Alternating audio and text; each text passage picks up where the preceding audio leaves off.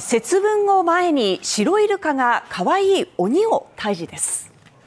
せーの。当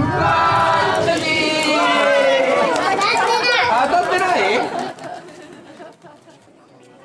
横浜市の八景島シーパラダイスでは今日から節分までの4日間白イルカと一緒に豆まきが楽しめますマスがついた特製の棒を加えた白イルカはトレーナーの声に合わせて頭を大きく振って鬼のお面をかぶった子どもたちに豆をまきます。